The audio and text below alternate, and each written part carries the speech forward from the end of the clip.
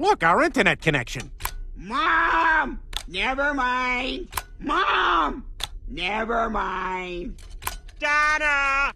Buddy! I'm not on the internet. Some people in this neighborhood read.